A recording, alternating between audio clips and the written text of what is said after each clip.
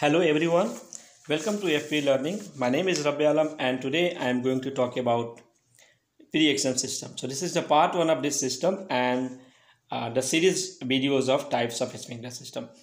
I have discussed regarding wet, dry and deluge system in my previous videos. If you want to watch that videos, the link is there in the description. You can just follow the link and watch those videos. I will recommend you guys to subscribe my channels FPE Learning so that you can get the latest update on various FE topics. Let's begin now with the pre-action system. You know this system are used where the risk of freezing, water leaks or unintended sprinkler activation is of concern to the building owner, right? For example, like let's say the museum housing rare artifacts or books where we don't want uh, to activate the sprinkler system uh, falsely right? Unintended uh, activation and all. Data center to protect computer equipment and they are also used in uh, properties where cooling or freezing are a part of the buildings used such as cold storage and warehouses right? So this is very complex system right? It is a complex and wet and dry system because there is more component with the pre-action system interlock and all we can say that one uh, pre-action system is the combination of wet dry and deluge system right?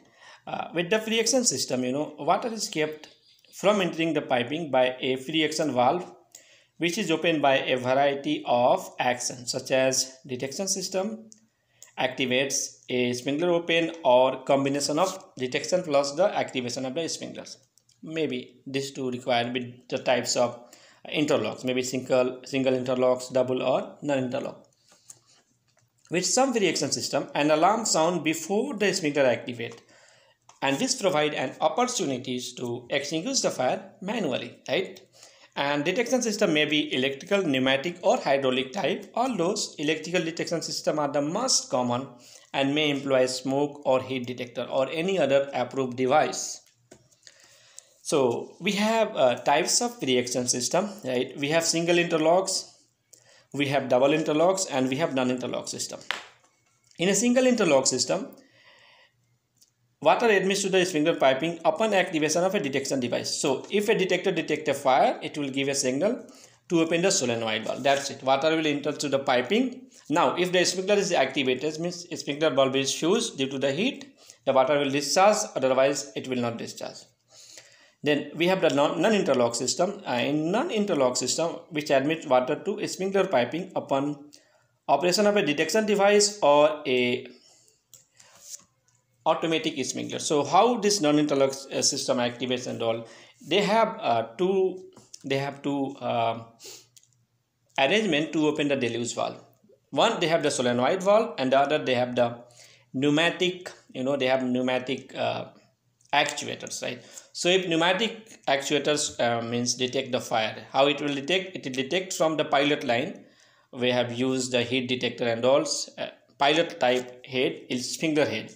That will be fused and air will be released. Once the air release the system will activate due to the difference rise in the priming chamber. The last one, the most advanced one and the most more number of component, we have the double interlock system, right? So in double interlock system, water admits to sprinkler piping upon operation of bore detection device as well as automatic sprinkler. Suppose this is a, uh, this is a DV valve, deluge valve, and this is a priming chamber lines. It is connected by a solenoid valve here, and then they have a pneumatic actuator, right? So this these two need to be activated in order to release the water, release the water to drain connection right? Without that one if any one of that will activate the system will go to reset condition automatically. But we'll discuss in detail in my next video regarding the double action pre-action system. So for today we are just going to discuss about single interlock pre-action system right? Where we need you know only operation of a detection system. Once a detector detect a fire it will open the deluge valve allowing water to enter inside the system piping. When I'm talking about the system piping, I'm talking about the after the deluge valve into the sprinkler piping. And where we need The goal of the single interlock system is mainly to reduce time of water delivery to sprinklers. Normally, uh, a double interlock system can delay the water delivery to the system because they have double interlocks. They have pneumatic air to release from the sprinklers and they have solenoid valve. So pneumatic time, pneumatic airs need time to go out of the sprinkler system, causing water, causing fire to grow maybe sometime out of control. This is why uh, we have some limitation. So what are the application of the single interlock system? In computer rooms, museums, right? Art galleries and other places sensitive to the water discharge or area where consequence of getting water into the piping are not as severe as in the freezing storage warehouse. The problem with the freezing storage warehouse, right, with the sing using single interlock system, may be because the single interlock system detect, the, detect a detector detect a fire it will open the deluge valve. Now water goes inside the system piping. But inside the freezing storage atmosphere is totally freezed temperature in the minus 10 minus 20 degrees celsius the water converts at 0 degrees to the ice. Water will become ice inside that it will freeze inside the piping now there is the problem. How we can remove those ice obstruction in the piping? Two options we have. Either increase the temperature of the freezer. That is not feasible because of the cost effective solution uh, all the product and will be destroyed. The second one take out all the piping outside. That doesn't make sense. All these two points right? So we have to be uh, careful with that one. We need two kind of the activations. First a detector detect a fire it will not open the deluge valve right it should be opened by a detector as well as flush the pneumatic actuators any one of that one detect a fire cannot allow the system to activate Moreover, uh, this one is a concern of my next videos. I'll, I'll go in details regarding a double interlock pre-action system. For now, let's focus only on single inter interlock system. So here we have a single interlock pre-action system, uh, 3D diagram. Uh, so how the system activate? This is just a general description. The more detail in the next slide. Detector 1 detect a fire, send a signal to the releasing control panel and this releasing control panel send a signal to all the way to this solenoid valve right now this solenoid valve open this line now it is normally closed once they receive a signal from the panel solenoid valve will be activated and making the water going from this line all the way to this up to the drain now once the water goes to the drain right the pressure will be relieved from the internal prime chamber assembly 4 the pressure will be relieved from that one. And you know pressure is relieved from the priming chamber faster than it is supplied through the restriction orifice. That we'll discuss in detail in uh, uh, the schematic diagram right? Then the prime chamber collapses and water passes through valve and internal check valve 5 here. And you know water enters the system directly so there is only one activations Detector detect a fire, send a signal to the control panels. Control panels send a signal to a solenoid valve to open. Once the solenoid valve open, it will decrease the pressure in the priming chamber, allowing water to go into the system. Now, when water enters into the system, if there is a fire, the bulb will be fused and water will go and extinguish the fire. If that is not a real fire and uh, water is, uh, let's say, just going to the piping but it is not uh, discharges because the sprinkler head is, st is still closed. So this is the general uh, diagram. The next one we have a more uh, detailed one right?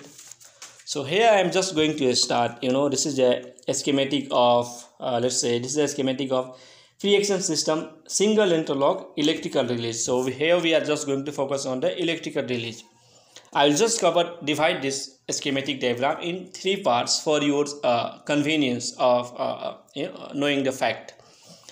The water is getting supply all the way from the supply connection. Then here we have a control valve, water supply control valve, butterfly types, butterfly valves. This is our deluge valve, right? This is our deluge valve, and at the top we have a D2, which is a check valve, right? EG riser check valve at the top right? And at the top of the check valve we have a connection to E1 which is a pressure gauge. And now this is the gauge for this is the gauge for you know air pressure. Now the air pressure is coming all the way from this compressor. We'll discuss that one in detail. So if every water supply from the this line all the way it is going from this stream all the way we have a normally open setup device then we have a, strainer. This is a 1 over 8 inch 1 by 8 inch restriction orifice right? 1 by 8 inch restriction orifice then we have a check valve. And all the way from this line water is getting entered into this priming chamber right? To the deluge valve. From the top water is going and it is closed the valve by the pressurized water okay so now the same line is connected all the way from here to a to this line right? And this line is connected to this f1 now this f1 is you know solenoid valve right? So once and this solenoid valve is connected all the way from this bottom line to the drain connection. Once this detector f4 is this detector detector fire send a signal to control panel releasing control panel now this releasing control panel send a signal to the c4 which is a electrical alarm bell.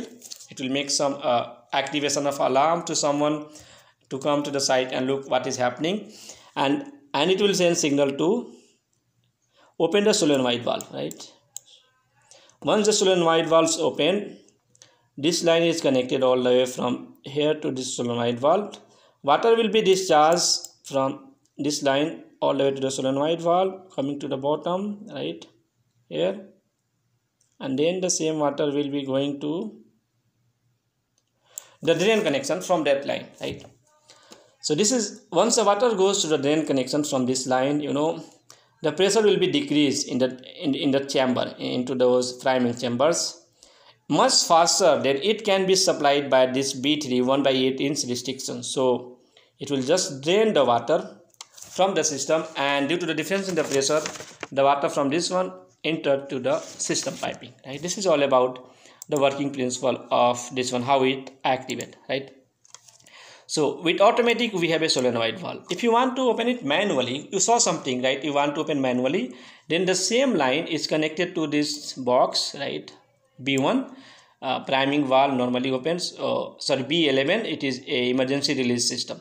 Just open this one and pull the lever.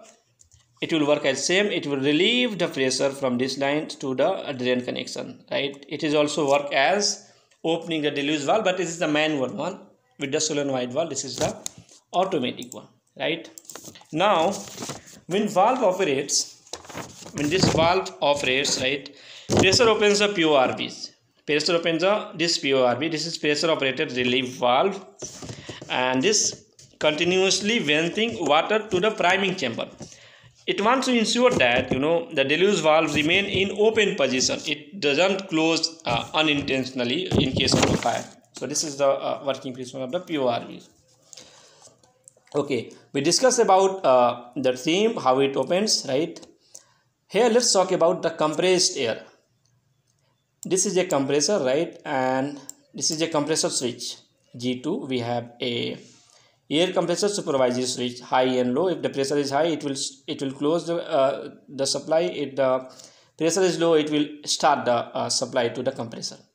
All the way it is going to the G3 which is a soft check valve. Then we have a setup device normally open conditions. 1 by 4 inch connection is coming all the way from this one. We have a dehydrator right to remove all this moisture and all. Then we have a G6 air maintenance device right? So this is air maintenance device along with the bypass line the air will come and pass through this line and this is a uh, this is a normally bypass line which is closed position but this one in open condition if you want to know in detail regarding the air maintenance device, I will recommend you guys to just go and watch my videos on dry pipe system. I have discussed in detail regarding those air maintenance device and all. And this after the maintenance device, this is going to the E3, which is a air pressure supervisory switch. And it will give a signal to the control panel regarding the what is the pressure inside the system if it is high or if it is low to check at those release control panel. Now the same line is going all the way from this one to the system piping here right? And this is to this is a pressure gauge for air not for the water the purpose of you know pneumatic air in the system piping in the sprinkler piping is no just to make sure right, just to uh, supervise the any kind of the leak or broken areas in the sprinkler piping. Why it is so important you know uh, we just want to supervise that system piping or sprinkler piping is not broken. There is no leaks or no sprinkler is uh, damaged. Because the main goal of the pre-action system is to uh, allow water not to discharge in uh, no fire condition right? If there is a fire only then only it will activate the bulb will fuse. But maybe sometime if the system is not supervised with the air we cannot know if there is any leaks or what. Or maybe due to the false alarm right? Due to the false alarm uh, the deluge valve opens because it's a single single interlock only detector giving a false alarm right? And it activate the deluge valve. Now water is going all the way from the system piping to these areas right? Now this is a costly areas maybe a museum art galleries or historical rooms. All those equipment will be destroyed because of non supervising this is why we need supervision of the system piping. It will uh, it will just supervise that one if the system is uh, uh, in good condition there is no leaks there is no broken sprinkler and all if the pressure is low it will give a signal to the release panel so that someone can come and say look for those, those supervisory conditions right? So that's all about you know that's all about uh, the schematic of uh, single interlock pre-action system with electrical uh, electrical uh,